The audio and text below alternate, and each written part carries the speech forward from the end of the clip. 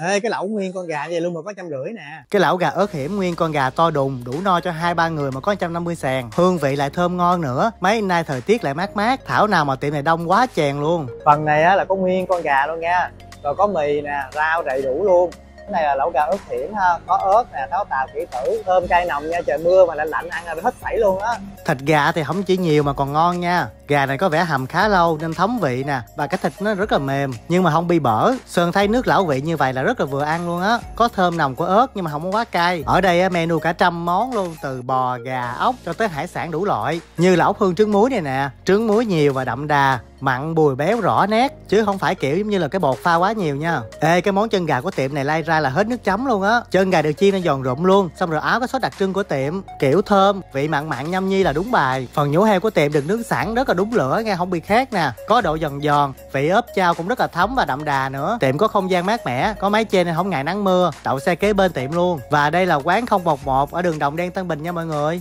Không hổ danh là nhà hàng đã hơn 60 năm tuổi với hơn 300 chi nhánh trên toàn nước Nhật. Ăn sau một bữa ở đây về là có cái nhìn khác về ẩm thực Nhật liền luôn. Ví dụ như bình thường Sơn đâu có thích món mì lạnh này đâu. Mà do hôm bữa gọi combo mong bò quanh du được tặng cái mì lạnh chanh. Nhưng mà hương vị thơm ngon, thanh mát mà phải qua bên luôn á. Thật sự đỉnh nha. Đứa bạn Sơn nghe nói An Lạc Đình giảm 10% bill chai sinh nhật trong tháng nên nó rủ tới ăn. Ở đây có phòng riêng từ 2 đến 25 người mà hiện tại là không có tính phụ thu gì cả. Không gian ở đây kiểu ấm cúng nhưng mà vẫn sang trọng nha. Ga màu nâu gỗ tạo cảm giác dễ chịu và mang đậm phong cách Nhật. Khi mà gọi món á, mình chỉ cần quét mã và thao tác trên điện thoại luôn nên rất là thuận tiện. Hoặc là mình cũng có thể nhấn chuông thì sẽ có nhân viên phục vụ tới nhanh chóng lắm nha. Món ăn ở đây được trang trí công phu và tỉ mỉ đến từng chi tiết. Khi mà mang ra nhân viên còn dặn dò cách ăn nè, nước chấm nào ăn sẽ phù hợp nữa. Vì hôm bữa ăn thơm ngon quá nên tụi Sơn gọi nhiều món lắm. Cho nên nếu mà để review từng món á, thì sẽ khá là dài. Nên Sơn sẽ chia sẻ ngắn gọn thôi nha. Đầu tiên á, là các loại thịt à, gồm có thịt bò và thịt heo. Tùy theo món á, có những cái phần chỉ hơn trăm thôi Nhưng mà cũng có những cái phần tới gần triệu phần á. Tất nhiên theo lẽ thông thường á, thì giá càng cao thì càng thơm ngon. Nhưng á, cho dù bạn gọi loại nào đi nữa Thì thịt ở đây á, vẫn rất là tươi nè. Nhìn cái sới thịt thôi là thấy khác biệt liền. Cái miếng thịt loại ngon mà còn được nướng ở trên bếp than nữa thì dậy mùi thơm Tiếng xèo xèo nghe sướng tai. Mà bếp này á, có hút khói âm nên yên tâm về cái vụ khói hay là mùi nướng nha. Không thể không nhắc tới các món nước chấm đặc trưng của tiệm